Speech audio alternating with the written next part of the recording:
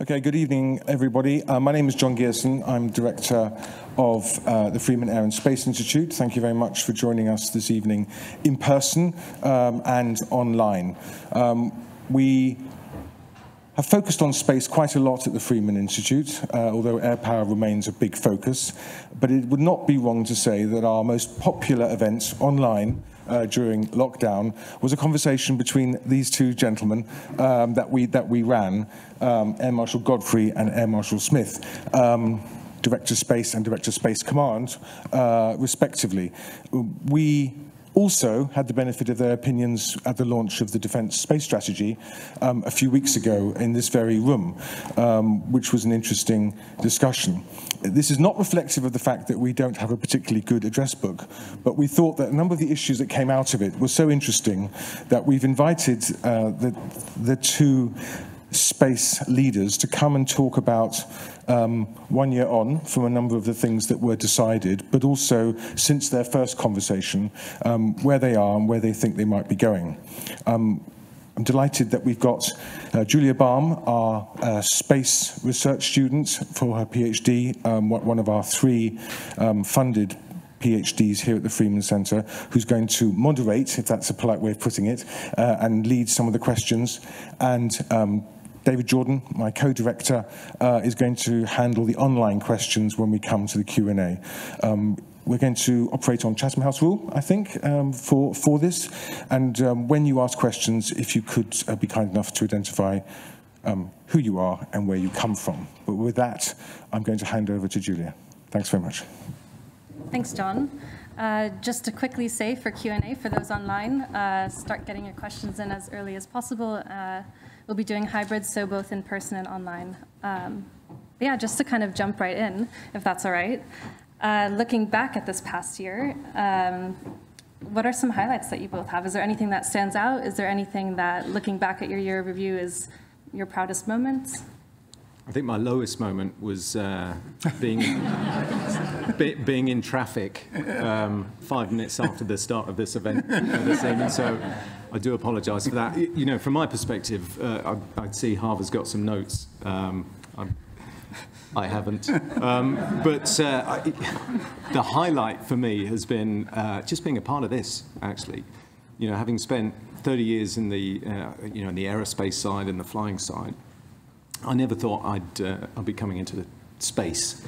Never thought I'd be, uh, I know all of you have heard this before, but it has been enormously um, useful, brilliant working with Harv. You know, we've joined the Air Force together. Um, and I think that's some of how we've managed to get so far in, the, in, the, uh, in, in, this particular year.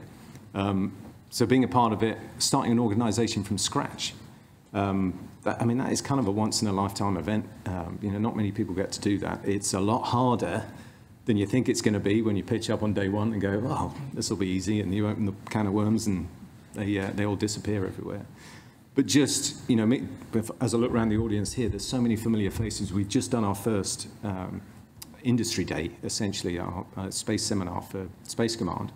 Um, I really feel like we had a connection with so many people in the audience there that were essentially all new to me a year ago. So being a part of it, starting a new organization, um, and meeting a bunch of unbelievably interesting people in a domain that is essentially new when it comes to uh, you know the operational side of things. The whole thing has been brilliant. So the entire year has been a highlight. What he said. I think I, so. Obviously, I've I got about a year head start on Godders because we stood the directorate up a couple of years ago. I think uh, this year, what's been good to see uh, through the lens of the directorate in head office has been it all kind of coming together. So, you know, the money came together, the, we got the defence space program settled to what that would look like. We got, um, you know, Godders came in and took on Space Command. Space Command stood up and started taking on the work. Um, so it's just, I think the biggest thing this last year has been just seeing it come together. And probably the, the pinnacle of that was when we were last in here, getting the space strategy issued and there were people have heard me say before there were quite a few naysayers about just our ability to get the space strategy published. Um, you know, it's been tried before. We've been at this for 10 years. others better than you have tried this type of banter. And actually, it was it was hard work at the end just to get it over the line. Um, but I think that has set, and we talked about this earlier today with industry, what that has allowed us now is uh, something that we can hook a golden thread to, and that's really important, particularly for Space Command as they go forward here and take on more of the heavy lifting of capability uh, delivery because we didn't have that before. We didn't have an ability to go in front of an investment appraisals council and say, here's the program, here's my pitch, here's how much money I need, and here's the golden thread that goes all the way back up to a defence space strategy, which hooks into a national space strategy, which is signed at the top of government, and that's why you need to give me the money. We didn't have that before, so it was, at, uh, at worst, could have been accused of you know, people just wanting to get after pet projects. So it's been nice to be able to settle that and now have clear aim points. Um, the trick now in this next year is to start implementing. It is worth saying as well, I've mentioned the um, defence space strategy, you know, so you've got sort of one thing there. Actually, in two days' time, we declare our initial operating capability. So, uh, you know, I think that becomes our thing. Um, and, you know, I mentioned the, the sort of can of worms and how difficult it is. We started, many of you, I think, have heard me say, we started with six people on the 31st of March last year. 1st of April, suddenly with Fylingdales and with uh, um, uh, some of our units up at Waddington and, uh, and down at High Wycombe, we ended up with 400 people, all looking at us, wondering which way we're going, you know, and doing the Wallace and Gromit, laying the track in front of the train as we steam around the living room. But we've got to a point here with IOC that is essentially we've got a bunch of track laid out now. Um, you know, we know where we're going. Um, and we've grown the command, and uh, you know, I talk about people in this room. There are uh, a couple of people in this room who've uh, been important to, uh, you know, how we've grown and the fact that we're reaching IOC. And it, it is just a, a, a, you know, all credit to the personnel within the command and the directorate that we work closely with that we've managed to get to this point and we've managed to declare IOC. We possibly talk about the, the bits we haven't got to as part of IOC. Um, but uh, you know, to be able to do that in what is feels like 10 minutes, but is actually a year, um, I think has been fantastic. Yeah, thinking about those difficulties that you're mentioning, uh, when you first started in the first few days or, or, months, was there anything unexpected that you know presented as a hurdle in the first uh, steps? Well, certainly from my perspective, uh, because Harv and the team had been there, they'd actually cleared a bunch of those hurdles out of the way. And the fact that defense um, had fully embraced the um, uh, space command just made it so much easier for us. I think the, probably the biggest hurdle for me um, and the command as we've gone through the years, and not necessarily at the beginning, has been this, doesn't sound like a, a hurdle, but the slow growth of our workforce um, across the way. So yeah. we're, we're lower than we wanted to be right now, which has actually manifested itself in we haven't been able to take on all of the capability programs that we wanted to from the Space Directorate. Um, uh, and that is, you know, we've been working this through. There are a number of reasons why this happened, but we're starting to accelerate now. We're, we're, getting into it. We're growing the team, but it has meant that the team that we've got have been working really hard in order to try and fill those gaps. And, and, and actually, we brought on some, uh, some just a small amount of contractor support to fill those gaps at the moment while we, uh, while we build that military and civil service um, uh, workforce as well. So that's probably been the biggest hurdle and the biggest one to manage. Um, and, but that's really only come in in the sort of last sort of four to six months, uh, I think. I think I would I'd absolutely agree with that. That's been harder than we expected. Historically, doing workforce growth always is, um, but it's generally getting the money and getting the positions agreed. We call them the JPANs you know, the, the kind of the admin function of a seat for someone to sit on. Actually, what we've found here is it's been quite hard to find the humans, to get just to get the humans in, because we've not we've not necessarily grown any of the three services to allow Space Command to grow. So we're going and taking those people. We've got to stop something to do this, so that can be a challenge. Um, but as Godders said, they're they're kind of on a good path through this year. Um, and what's been nice with the relationship between the directorate and the command is we've been able to easily take that decision, say, okay, well, we'll delay that a bit and we'll keep running that here. You take this on. You know, we've lent a couple of people out of the directorate into the command to just keep some progress going. I think for me, one of the things that's been the biggest surprise in terms of challenge has been maintaining the narrative, maintaining the support for the narrative of space, and just having to constantly go back and justify why this is important. Um, and that, that has surprised me. I thought you would only have to say that one or two times, and people are like, right, we get it now, we're good. But we are, particularly in the directorate and within head office, where there's always a fight for the money, there's always a positioning for prioritization when there's only one bucket of cash. And we do, we are finding that we have to consistently go and justify what, you know, we gave you this amount of money at the IR. You, you need to come again and re-explain what you're doing with that and why that's right for defence.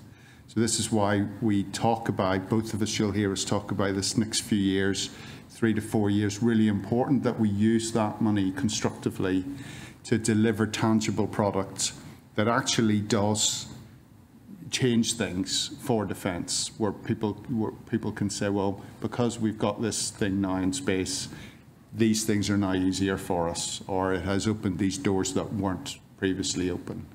Um, so that when we go in front of Treasury, etc., at the next spending review in a few years' time, it's more than fancy PowerPoint.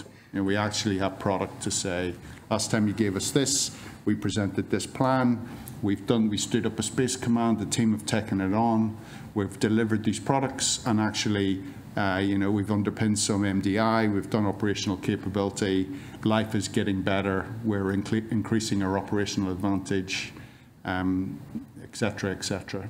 That's really important. This idea of having a license to operate, if we want to keep that, um, I think the next couple of years are critical in terms of implementing and delivery. I, I have just thought of a single hurdle, and that's the, there's only 24 hours in the day.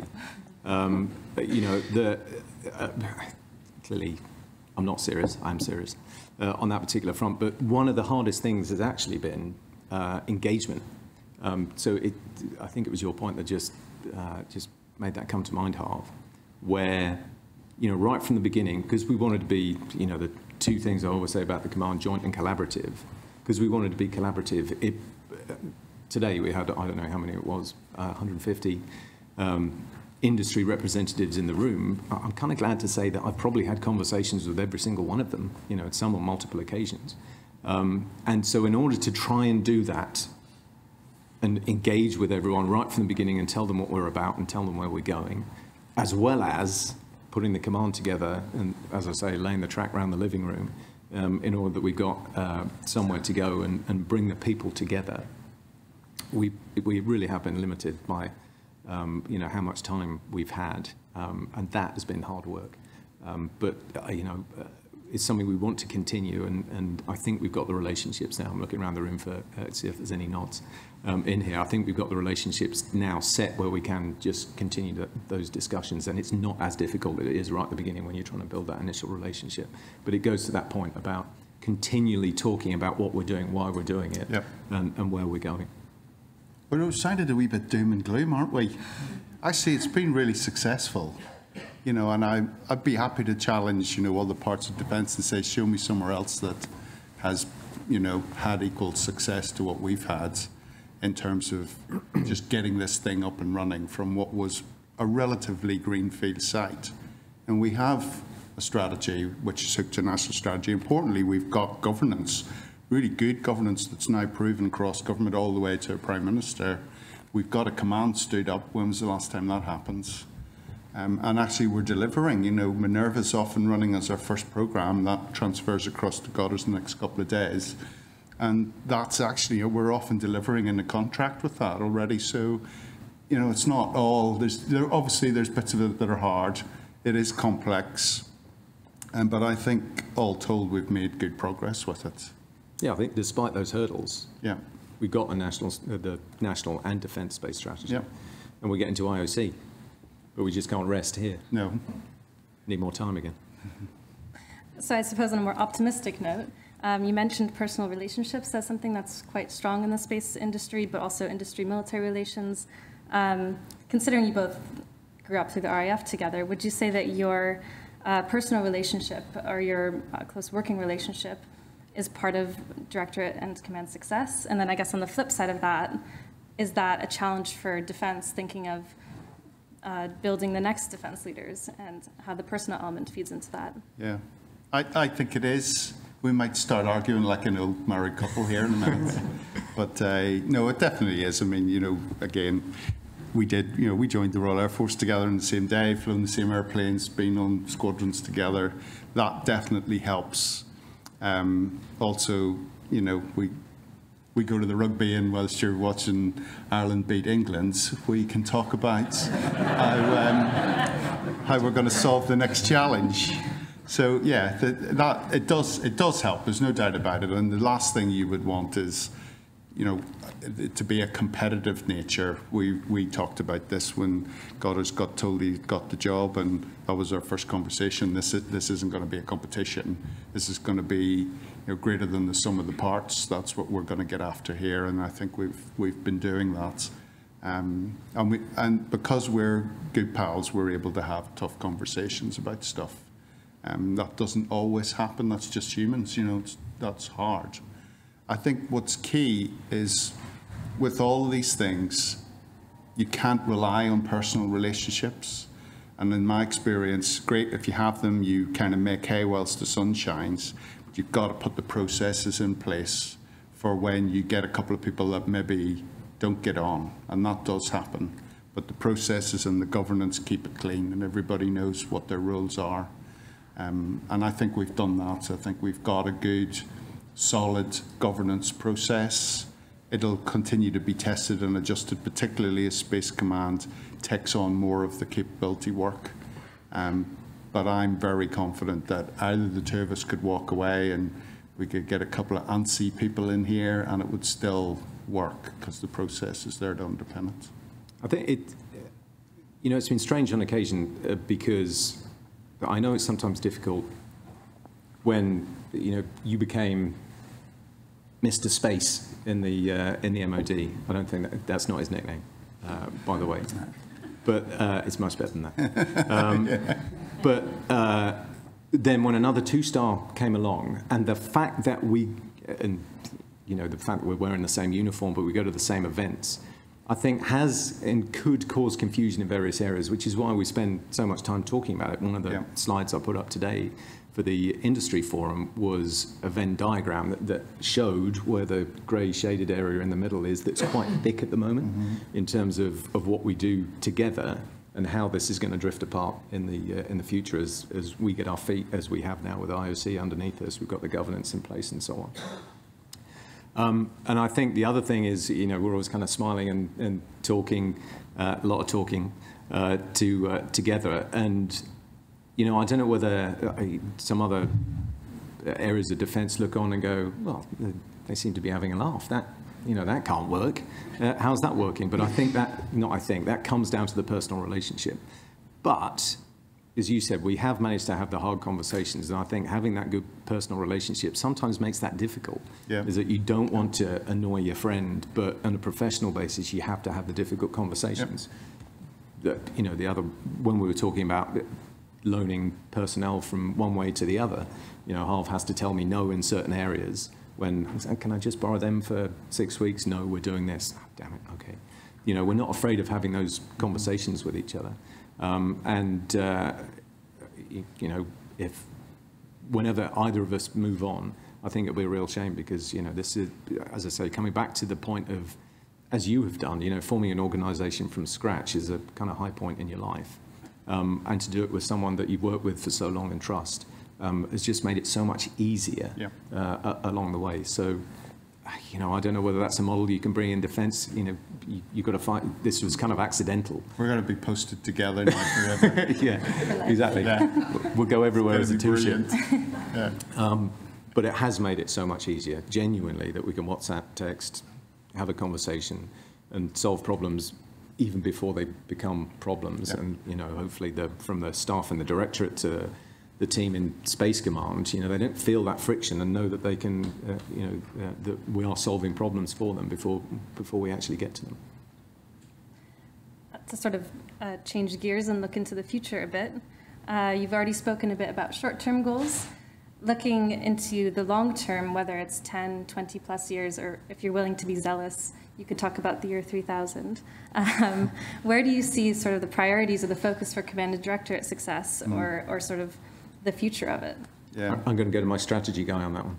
It's uh, so this is why I love this job so much, um, because of you can have conversations like we're just about to have. I hope, where you know you can. You, it's what we tr- I tried to get this going a wee bit today at the industry engagement.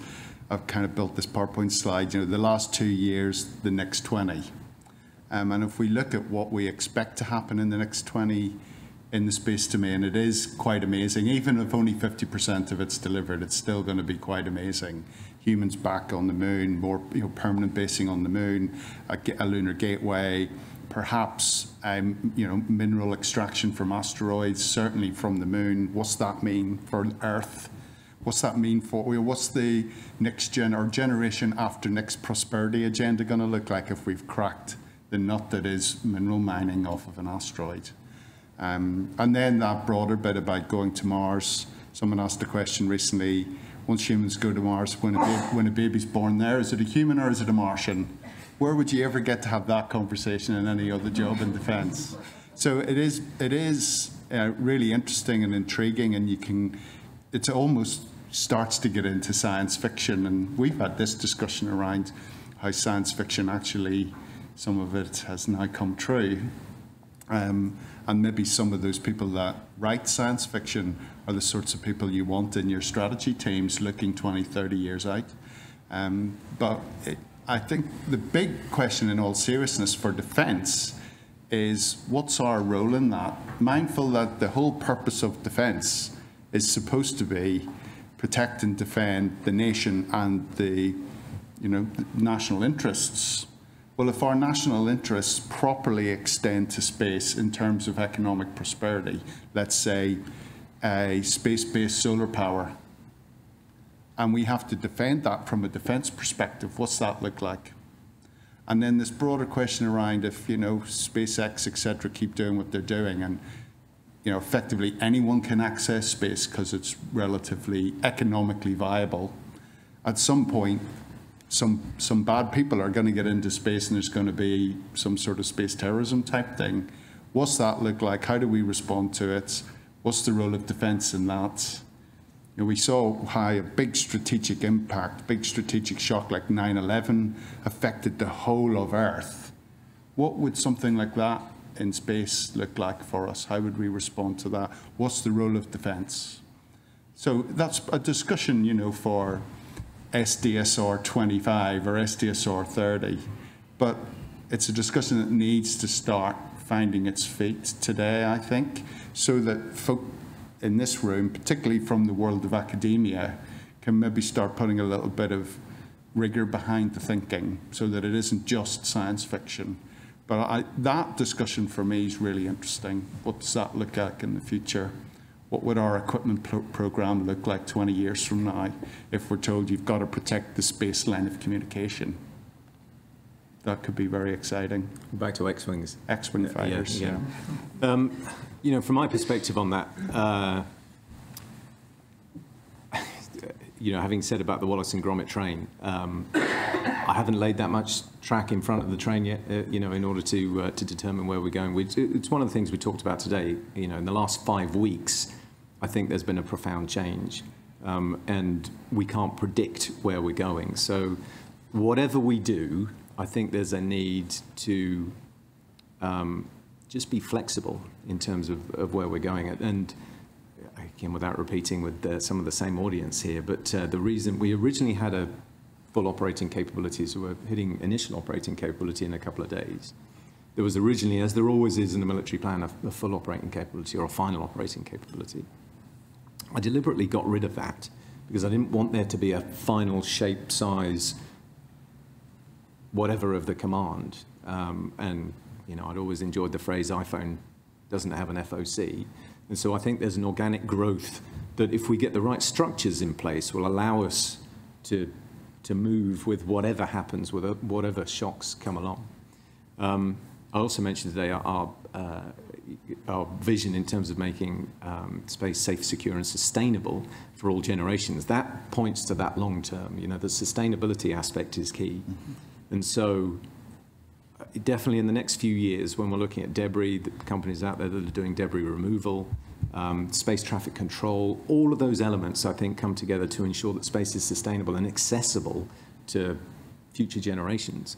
Because if we get this wrong right now, then there won't be a future space because we won't be able to get into it uh, for a start. Um, and so I think a couple of those aspects, that agility to be able to change to whatever the, uh, the strategic context is changing to, um, and just that maintaining sustainability and having that longer look and not just being, um, I think, blinkered by capabilities now that might have an effect into the future. I think we need to consider sustainability um, as we do everything from both the defence, and that's why it's really good to be working closely with our um, Space Agency and Space Directorate colleagues um, that were actually on stage with us uh, at the last event here um, to ensure that we're doing this collectively from a UK perspective and engaging with all the other nations out there as well.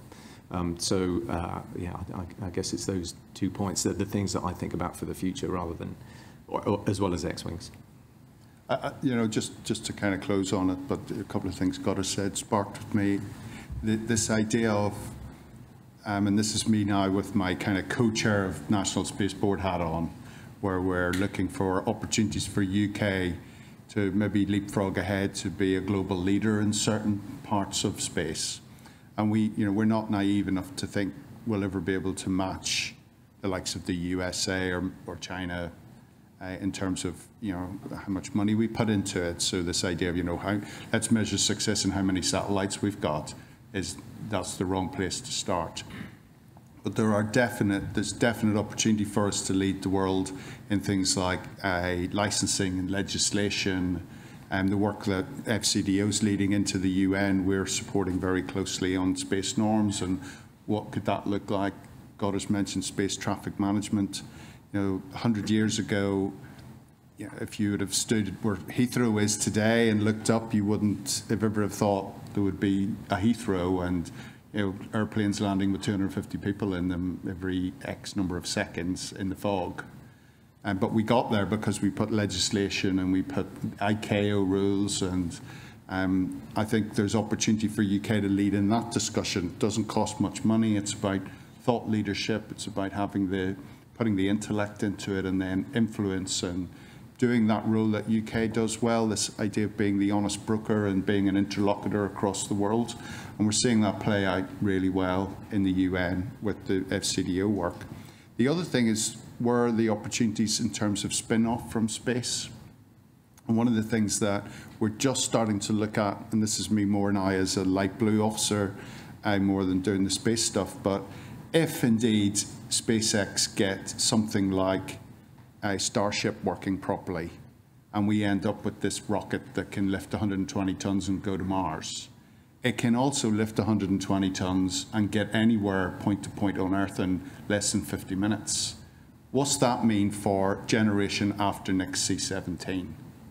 Maybe we shouldn't be thinking about Brize Norton flying airplanes, but in 2050, maybe they should be flying starships and sending cargo around the world that way, or people what's, that look like? And again, there's a conversation to be had now because that, in terms of a concept and in terms of trial, is going to happen within the next five years. Guaranteed. That's certainly where we see that company going. And we're starting to work at looking at options for how, how could we be involved with that discussion to learn the lessons and see is there a viability in something like that. And there'll be plenty other spin-offs um, that we can then apply to the other domains to make us even better.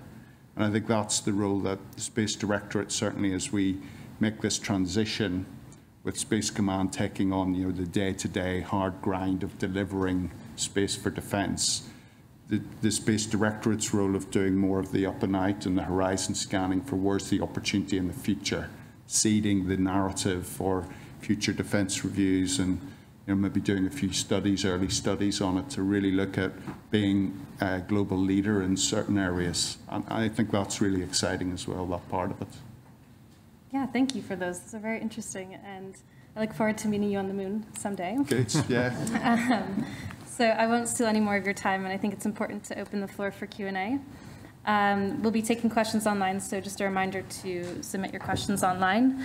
And when the, there are two roving mics, um, when you've been selected, just introduce yourself with your name and where you're from. So the first question will go to Richard Franklin. Good evening. Thank you. Um, firstly, congratulations for surviving the first year. I'm two days away from IOC and 150 industry players. I'm sure that's been the worst bit. Um, other nations are seeing the threat in space and accelerating capability.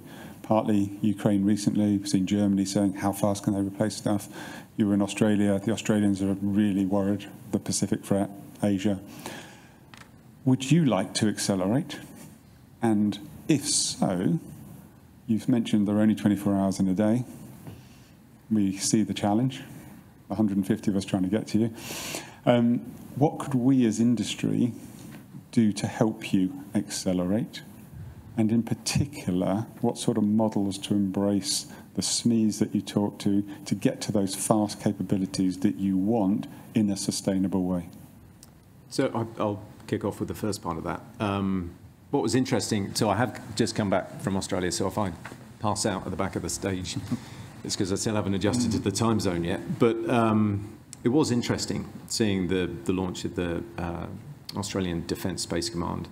It was really interesting talking to my um, German colleague, uh, the two-star space commander. Who, we've got a really good relationship amongst all of the space commanders in the uh, in the CSPO, the Combined Space Operations Forum. Um, and so unsurprisingly, the conversation went to 100 billion euros. What are you going to do with it?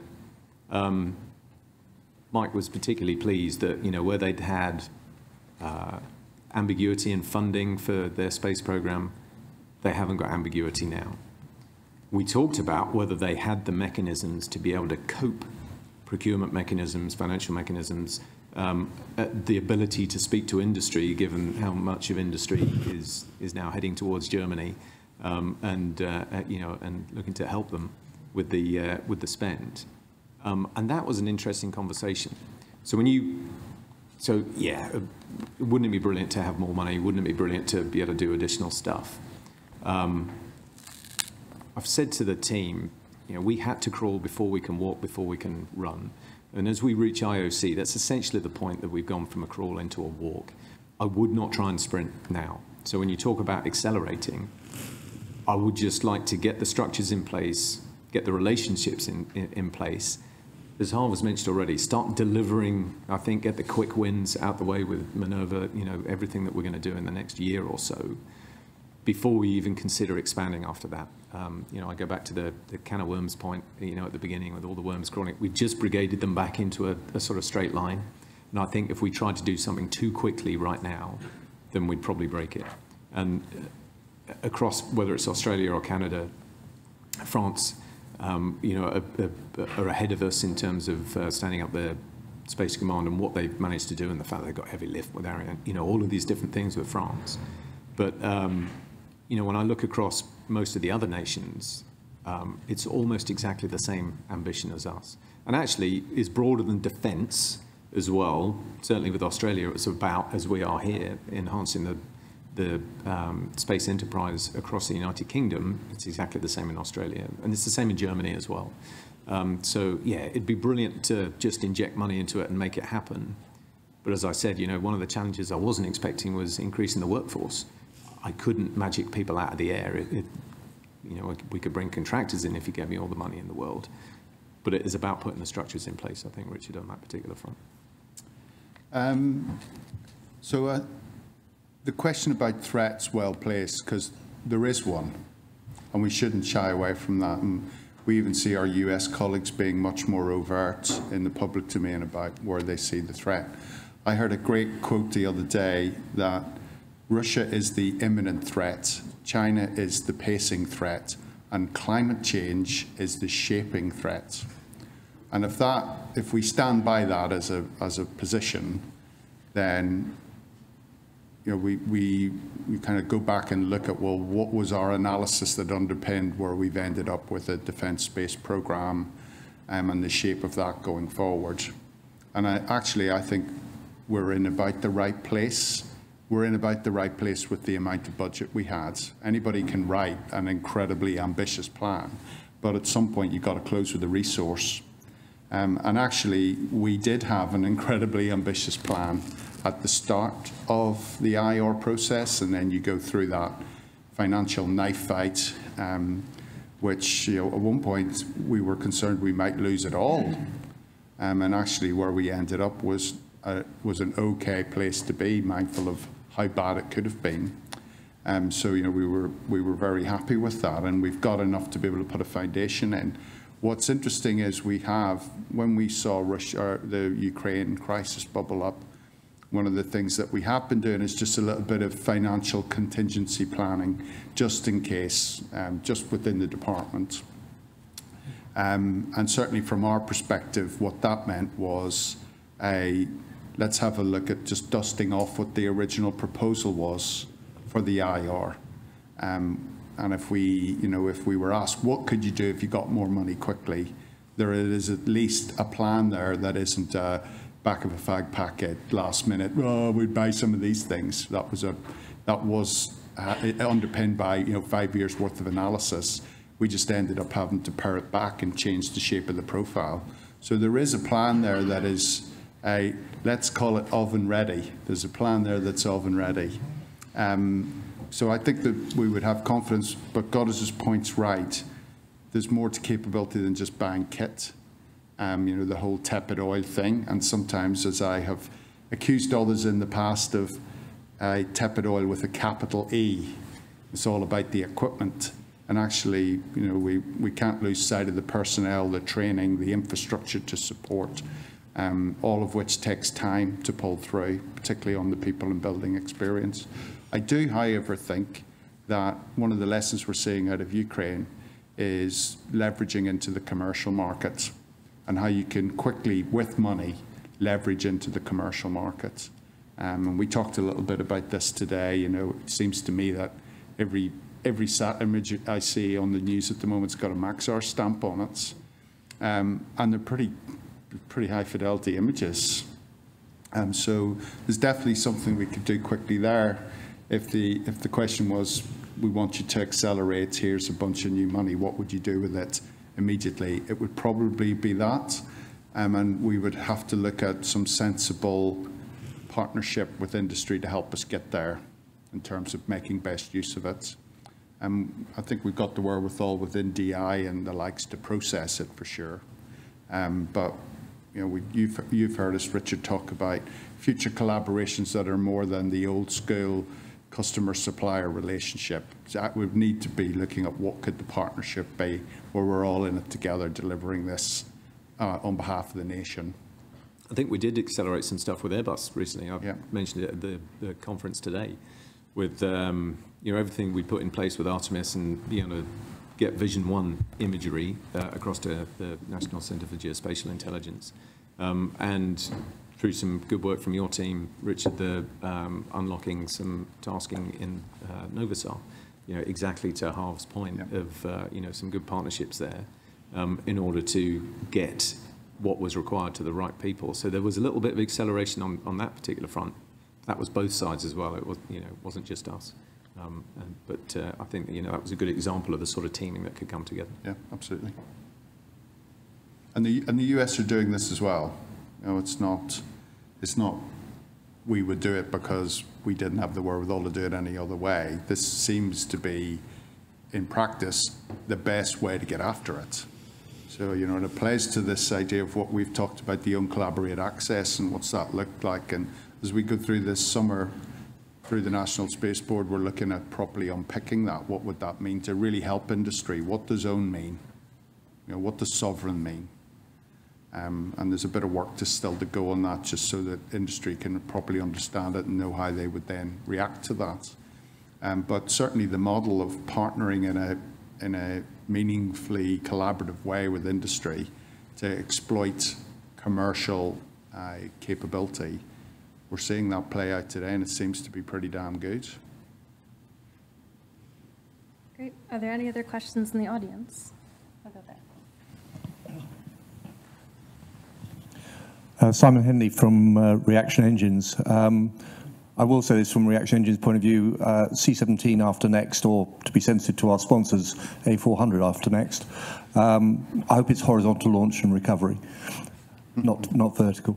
Um, the question actually is, we're, the first year of uh, Space Command uh, and where we are, we're still, to some extent, in a bit of a honeymoon period, albeit that things in Ukraine are making it a lot more serious than it would otherwise have been these things only really become serious. Part of the defence space strategy is, is based around collaboration to get assured access to things like launch, uh, where they're too expensive to be borne by one individual country.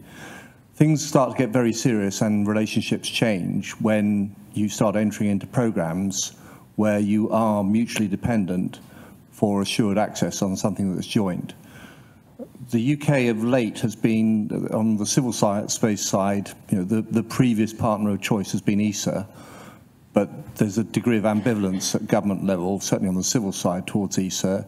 You've mentioned a number of partners that you're talking to who are new players in the game.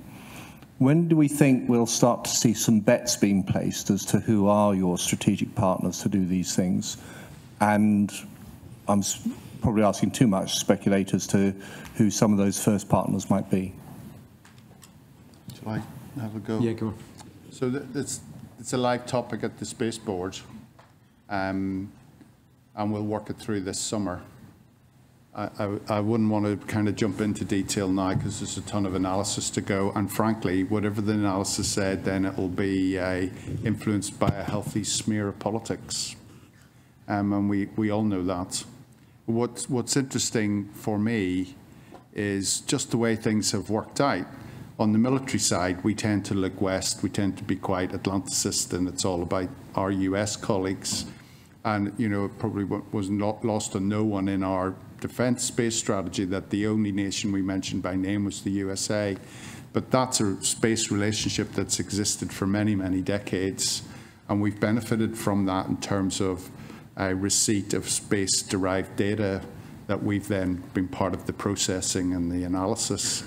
Um, what we're trying to do now is just put a bit more skin in the game to kind of earn it a bit more, to be honest. So that relationship will and uh, is and will remain really important to us and have some semblance of primacy for sure, in my view.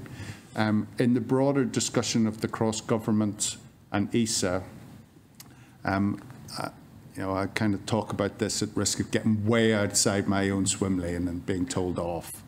Um, so I would just say we're doing we're doing a ton of work on ESA, on ESA, particularly with the Council of Ministers coming up this autumn, this November.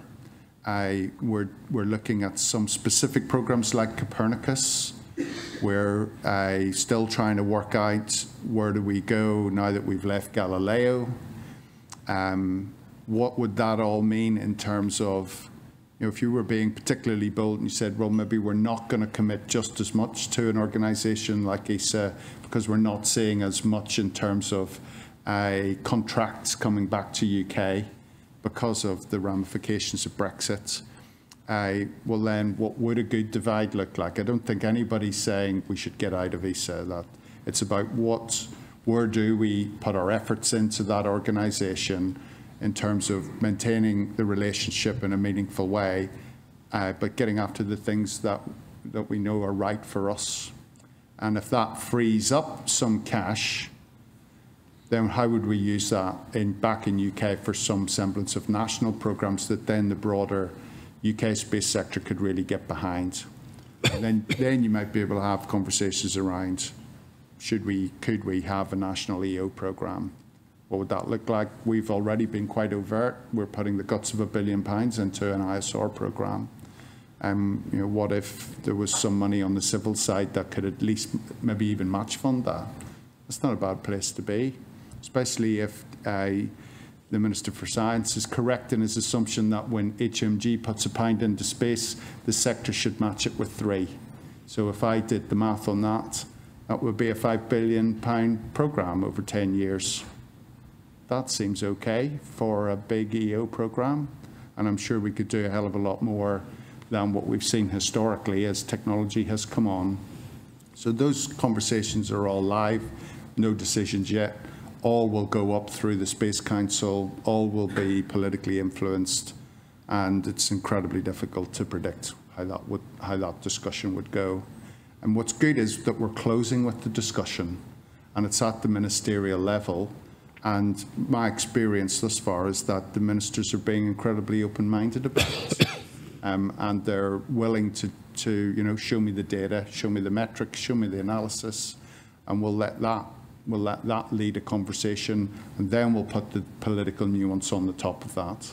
So, you know, as a good government official, my job is to produce the analysis and the data and present options um, and then we'll see where the likes of the National Space Council takes it. Hopefully that's it's as good as you're going to get, Simon. Certainly, from a you know from the command perspective, um, the CSPO, the Command Space Operations uh, Forum, is the prime forum along with NATO. You know, NATO is you know, declared space as an operational domain in, in 2018, and actually is in the same position as us in sort of building an emerging um, uh, space center, uh, actually down at Ramstein, France. Uh, looking at building the uh, NATO Centre of Excellence. So we've already got a really good core there in terms of collaboration. As I mentioned with Richard's question, the, there's a really interesting discussion to be had with Germany as a, uh, as a close neighbour. Harv went out to France uh, just recently uh, for their AsterX exercise, and, and I think it was really impressive from everything that I've heard with, the, with what they were doing there. Um, from a previous life as a station commander up at Lossiemouth, uh, being in the F-35 program, we talked a lot with the Scandinavian uh, uh, countries. That's not a conversation that we've realistically started from a space perspective. We've had these conversations, especially when you bring in companies like OneWeb or whoever who, uh, uh, you know, now from a, a broadband, a SATCOM perspective can, uh, you know, can start doing things in the high north. Um, we've had conversations with Japan, we've had conversations with, uh, um, with Korea. Um, there's a bunch of different people out there that are doing some brilliant things. Again, for us, it comes back down to resource at the end of the day and how, as I've mentioned about the, you know, not having enough hours in the day, um, we have to come back and prioritize the sort of key relationships, which leads us back to CSPO um, and, and back to NATO and just ensuring that we, you know, we do our very best as a good partner in those organizations and try and, and, do as much as we can to sort of share the load and, and actually get somewhere as well. Um, one of the blockers in that, you talked about hurdles, is classification uh, of, uh, of, ultimately military space, which I think is something we really do need to, to look at when it comes to dual use. Um, and the final point I'll make is that um, whichever way we go, uh, you know, from the ESA side, from the space agency, the good thing is, with the four of us, with Harv, Rebecca, myself, and Paul, we do a hell of a lot of talking right now. You know, Paul uh, is in the middle of the transformation of the UK Space Agency into more of a delivery organisation than where they had been before in terms of managing grants and that, that sort of direct line into ESA. Um, but whatever we do, I think we've got kind of got all bases covered here from looking that way, the prime sort of defence relationship looking across the Atlantic.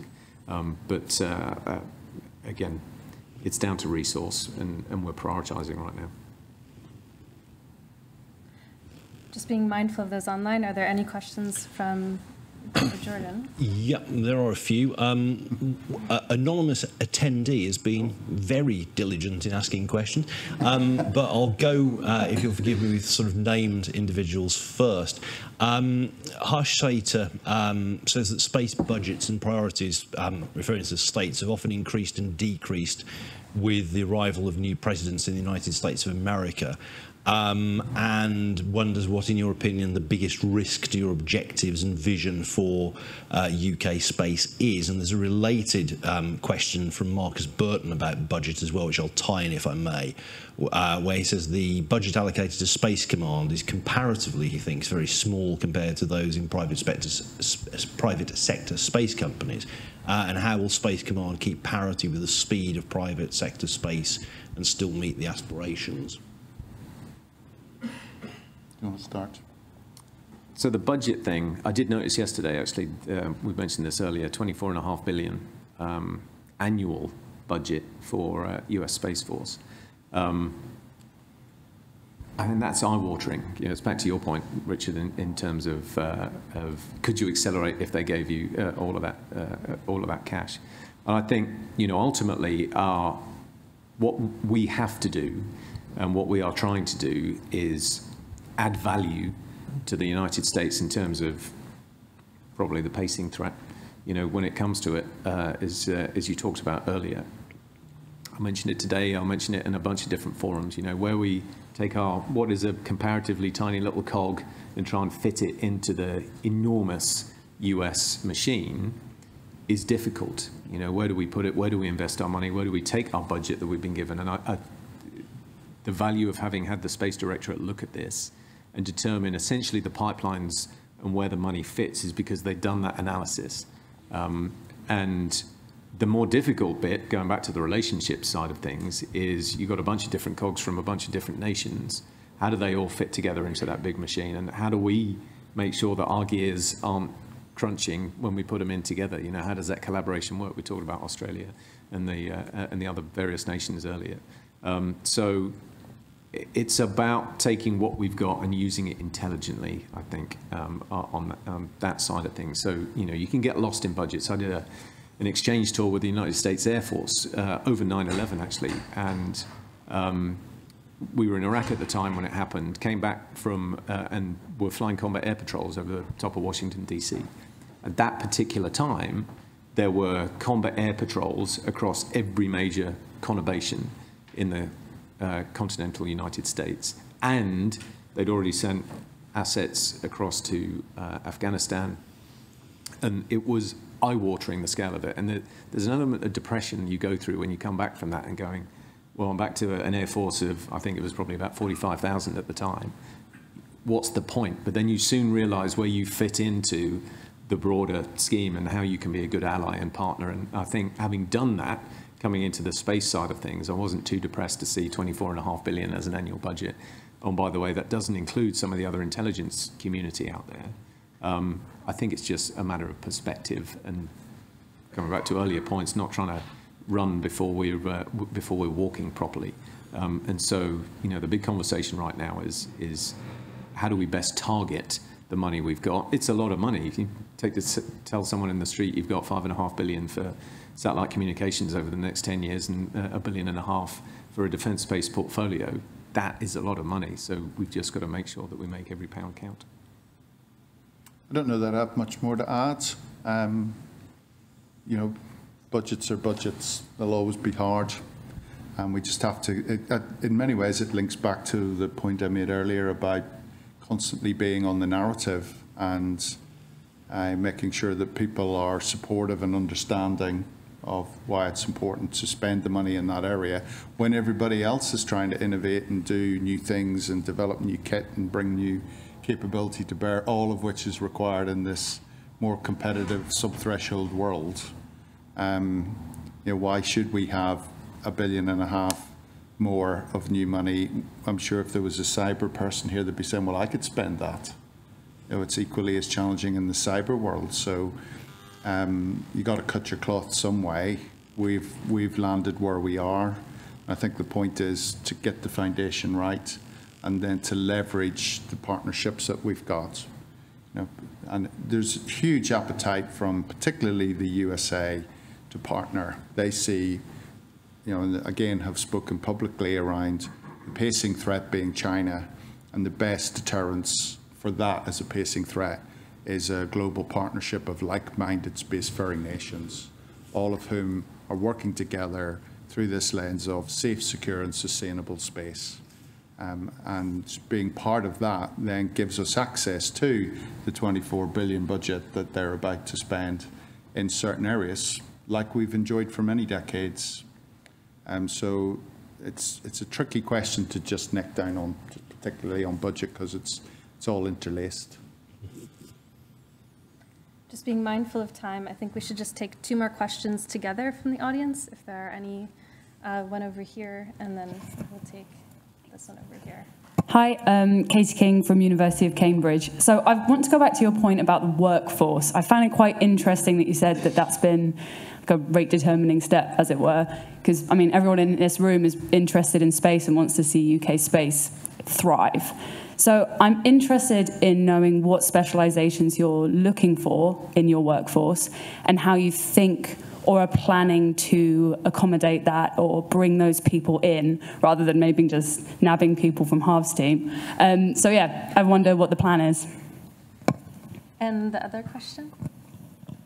Uh, yeah, uh, Neil Diggle, TAS UK. Um, what keeps you up at night? What keeps you awake at night? Jet lag, mainly. Um, thanks, uh, Katie. Uh, I thought we said no tricky questions. Um, yeah, so uh, it's a conversation we actually had at the industry day today because, you know, if I'm brutally honest, the I kind of started thinking about this. We did a, a trip out to uh, Space Systems Command recently, um, which is essentially the, the procurement arm of, uh, of US Space Force. 10,000 personnel there, and I forget the numbers right, it, you know, it's more or less, but only about 5,000 military, only 2,500 only, 2,500 uh, civil service, but then 2,500 contractors. And, you know, in our, in our original plan, we did not, do not currently have contractors. We do right now because we've had to use them to fill the gap.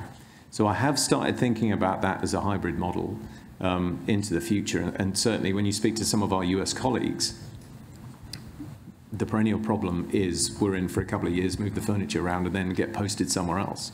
When you've got contractors in there and you're paying them long term, actually you've got the continuity on the various programs, and you're not just, you know, for the industry in the room, you're now not dealing with a different face every couple of years as uh, uh, as has been the case. Um, so I think, you know, one of the things I, I have taken over the last few months is the use of contractors and, and how we do that, how we budget for it in the first place. Um, in terms of our own workforce, uh, we don't, we, again, there was a discussion here today, there are certain areas where we need space specializations. So if you take our Space Operations Center, for example, actually we're using space agency personnel who are the orbital analysts uh, on that side of things. We're training up our own personnel on that side of things. The intelligence side of things, there's specifics in space intelligence and understanding that particular environment. Um, that space traffic control, the conjunction analysis, that side of thing needs an understanding of orbitology um, in, in order to do that. And actually then when you get to the capability side, there are certain areas where we'll need people who understand it so that they can go toe-to-toe -to -toe in procurement terms with, with SATCOM specialists or ISR specialists or whoever it happens to be. But actually, the majority of the people, I think, uh, you know, are like me and not necessarily a space specialist, but we need someone who's a procurement specialist and understands organizations and commercial, legal, financial frameworks, the legal aspects of all of these sorts of things. Uh, from the operational side, you know, the head of uh, ops plans and training we've got, uh, Air Commodore Mark Flewin, was not a space guy previously, but is essentially a command and control expert. Um, so when you throw him at a problem, you get the structures right, rather than getting into the nitty gritty detail of the, uh, uh, of the space aspects.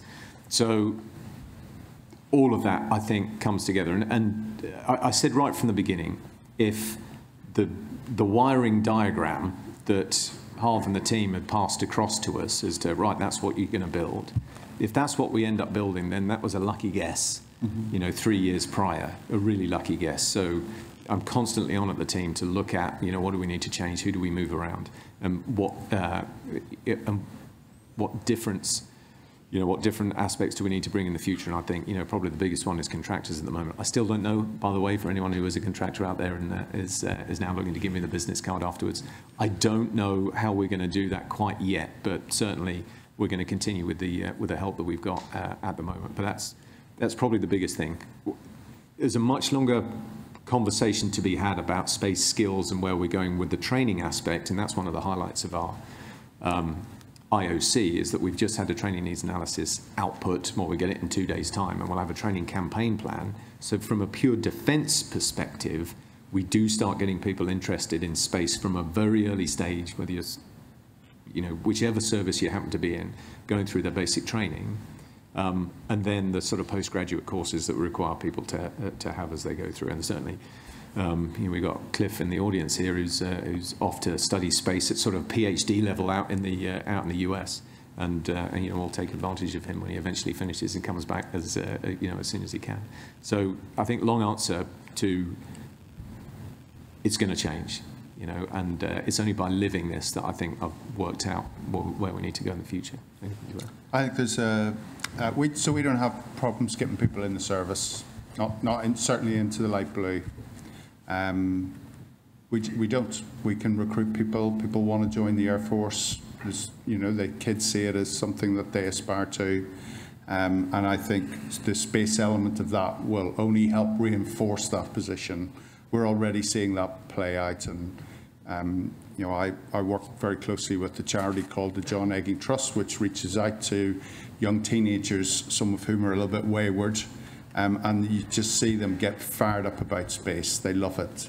They don't necessarily understand all the stuff that we would talk about here, but it's space, so it's cool, and that's what I want to do.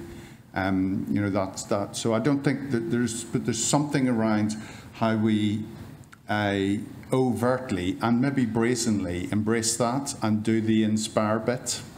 And I think there's huge opportunity for us, and even just this next year, we're going to do. UK is going to do its first sovereign space launches this year and into next year. You know, we're going to be firing rockets out of Shetland. You know, if you said to any youngster, "Do you want to go to Shetland?" they'd probably go, "What?" This time next year, they'll know where that place is, um, and they'll want to go there. And you know, we're doing work to build a space camp there because we know they'll want to go there. So um, I think there's something around the inspire. The hard bit is retaining them.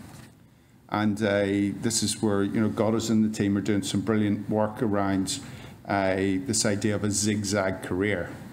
You know, come in, we'll give you the training, you get to wear a uniform, you get to do all that cool space stuff in the military, and then maybe uh, you know you maybe step out for a while maybe you're a reservist um, and you still contribute, and then maybe you come back in full time. And this idea of how do we exploit that, I think there's there's a there's goodness in that somewhere.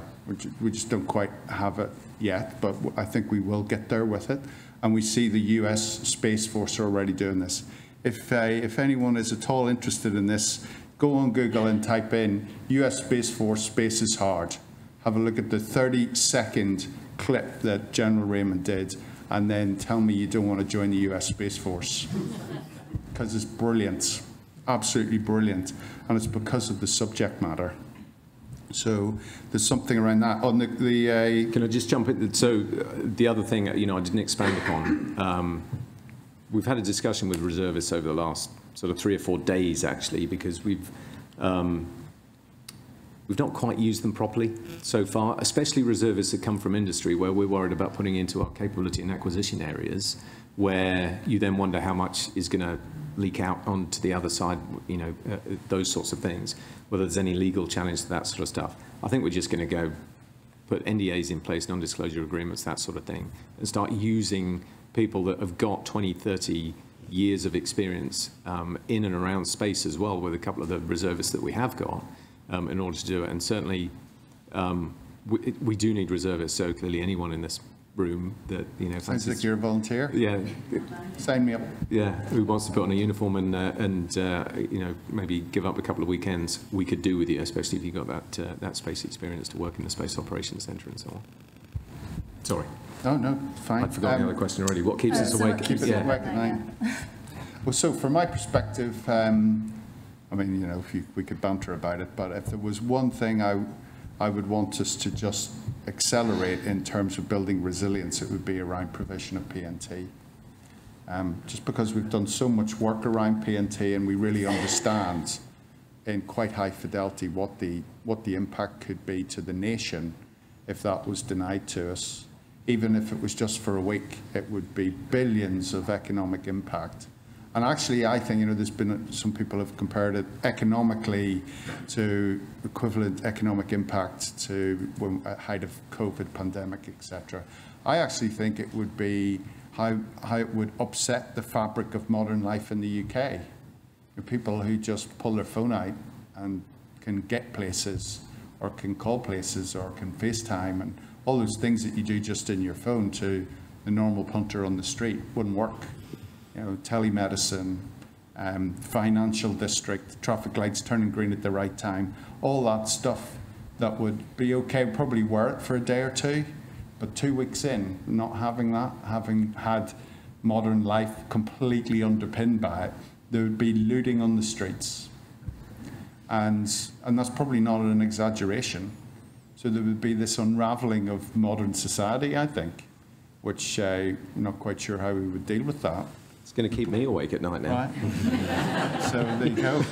Um, uh, you know, from my perspective, uh, and it comes into the classification side of things as well, but the threat that's out there, and you would expect me to say that from a Space Command perspective, um, how we counter that threat, uh, you know, we talk about it being an operational domain. It's up there already, yet, you know, we've got six geostationary satellites that um, you know don't have everything on it that we would want them to in the future. So um, you know how we get space domain awareness onto uh, Skynet 6A as an example, that a hot topic that I've said about 15 times a day for a reason.